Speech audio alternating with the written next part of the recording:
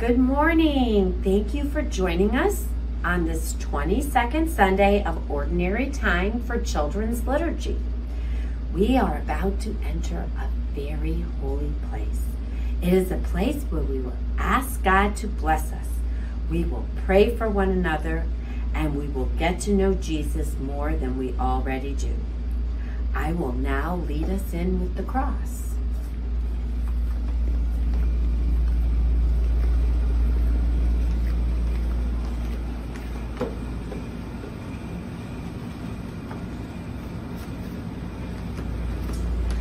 So Like to introduce myself. I'm Miss Maggie. This is Miss Shelley. She'll be doing the gospel in just a bit. So I'd like to start like we always start with the sign of the cross in the name of the Father, the Son, and the Holy Spirit. Amen. So the first thing we want to do is we want to look at our prayer table. That's right. So what color cloths do we have again this week?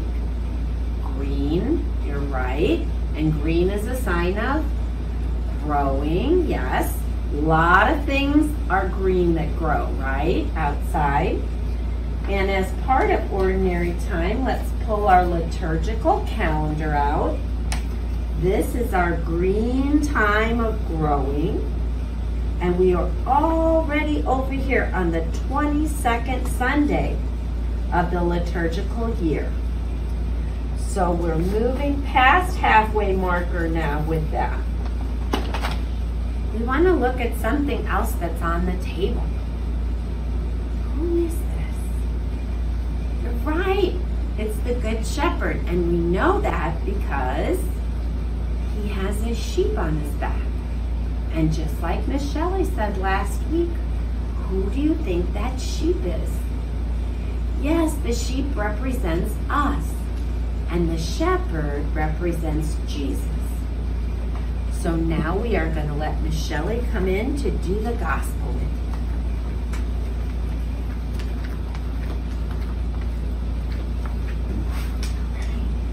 So before we always do our gospel reading, we do a few things. Is on our altar.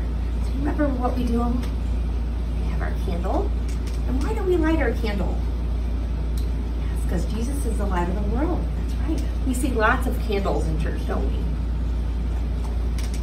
We also have our children's lectionary. And the wonderful thing about this is it's made just for children like us. And of course, it's the same that we do in church that our parents are hearing each Sunday. It's made special just for us. And right before we read the gospel reading, we always do our last gesture, our sign of the cross. Does anybody remember what that is? Right. It's when we make a cross on our forehead and on our lips and over our heart. So let's do that together. God, let me think your word. God, let me speak your word. God, let me love your word. Today's gospel is from Mark 7 1 to 8, 14 to 16, and 21 to 23. A reading from the Holy Gospel according to Mark. Some Pharisees and several teachers of the law of Moses from Jerusalem came and gathered around Jesus. They noticed that some of his disciples were without first washing their hands. The Pharisees and all the other Jewish people obey the teachings of their ancestors. They always wash their hands in the proper way before eating. Now, we wash our hands right because we want to be safe, especially with what's been going on in the world. But it was actually a law to do that. Like they had to do that. Uh, we're, we are strongly encouraging you to do it. Um, but that was something that they had said that they must do before they're eating. None of them will eat anything they buy in the market until it is washed. They also follow a lot of other teachings, such as washing cups, pitchers, and bowls. The Pharisees and the teachers asked Jesus, Why don't your disciples obey what the ancestors have taught us to do? Why do they eat without washing their hands? Jesus called the crowd together again and said, Pay attention and try to understand what I mean. The food that you put in your mouth does not make you unclean and unfit to worship God. It's the bad words that come out of your mouth are what make you unclean. Out of your heart come evil thoughts, vulgar deeds, stealing, murder, unfaithfulness, in marriage, greed, meanness, deceit, envy, insults, pride, and foolishness. All of these come from your heart and what they make you unfit to worship God. The gospel of the Lord. Praise to you, Lord Jesus Christ. Wow, when I read those, when it says that you're unfit, I mean, we can think about things that we have done or we have had bad thoughts. Um, and we will all do that. We have to understand that we are not perfect. That there's times that we may have a bad thing that we've said or thought, and Jesus knows what's in our heart. But we have to ask God to forgive us and to know, wow, I don't want to live life like that. I don't want my heart to be mean and say mean things or do things. Um, you know, it's it's kind of like when we're following the rules. You know, we behave in ways that are unkind, you know, unkind, nasty, or greedy. Um, so our hearts are unpure. God doesn't want that behavior from us. God wants our hearts to be full of kindness and love. And He knows we'll make mistakes. And we know that we will make mistakes too, but that will happen. We need to apologize like to our parents or to our friends and to know that those unkind moments can happen, but we want to be better. We don't want to do that. We're going to do a little exercise. I need everybody to close their eyes for me. Can you close your eyes? Now I'm going to keep mine open because I'm to read. But close your eyes, and I want you to imagine what's going on in my story today. So when you close your eyes, imagine that Bruce and Joe are in the same class at school. Both boys are very well behaved in class. Their teacher, Miss Amanda, is happy that they both wait their turns. They raise their hands before they speak, and they are carefully clean up after lunch and after painting time. Keep those eyes closed and keep thinking. At lunchtime, Bruce asked the little girl next to him about her new puppy and shared his cookie with her. He asked the boy across from him about his favorite superhero show. He noticed that another girl dropped her napkin and he handed it back to her.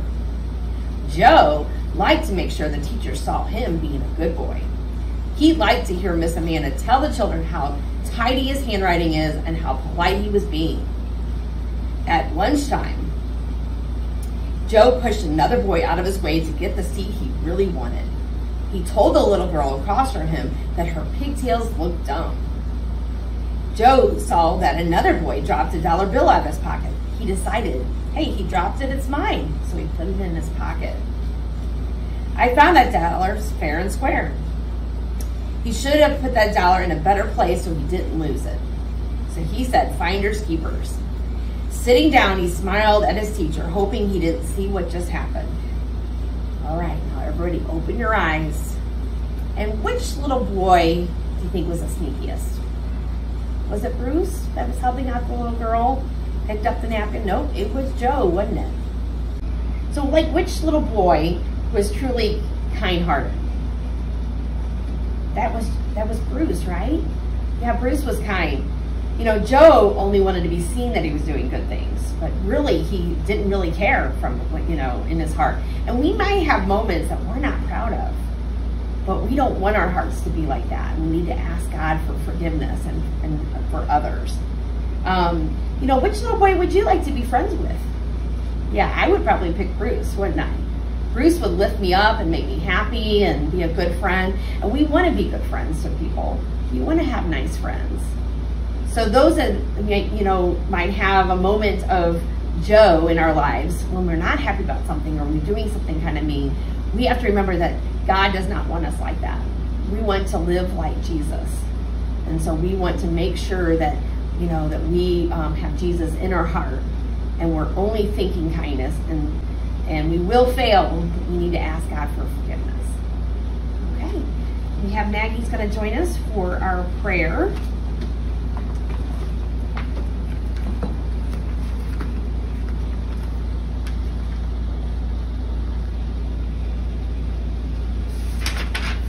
Okay. Start off. Father, Son, Holy Spirit, Amen.